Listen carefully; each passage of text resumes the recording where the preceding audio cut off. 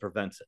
And that's the main thing. And that's, you know, people, I get a lot of pushback because they're like, well, just because you say there's no law that prevents it doesn't mean it's happening. Well, again, if I could prove that games were legitimately being fixed the way I think they're being fixed, uh, we'd be having different conversations. you know, I mean, it would just be in your face. But basically, there's two laws that come close to controlling sports in a way, and one's the called the basically called the quiz show law, and it dates back to the 1950s when uh, television networks were legitimately fixing um, quiz shows, game shows and they were doing it exactly for the same reasons I think the NFL and the NBA are fixing games is they were fixing them to make them more entertaining.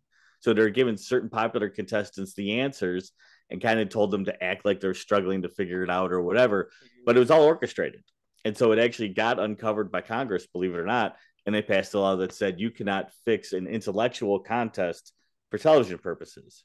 But it specifically says in the law intellectual contest. So it doesn't mean like Survivor can't be fixed or American Idol can't be fixed or The Bachelor can't be fixed or any of these reality TV shows can't be fixed. It just means you can't fix the show like Jeopardy or Wheel of Fortune. But all these other ones, including the NFL, the NBA, Major League Baseball, the NHL, they can technically be fixed because they're not intellectual contests. And then the other law that exists, which dates back to 1964, is called the Sports Bribery Act.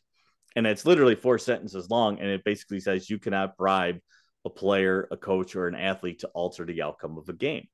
But if you have other ways of controlling people to get them to alter the outcome of a game, perhaps say like the NBA dictating to its referees how we want you to officiate games, and that may give an advantage to one team or one player over another, and it alters the outcome of a game.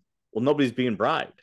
It's just the employer telling its employee what to do and how to do it, and they go out there and do it. And if it changes the outcome of a game, so be it.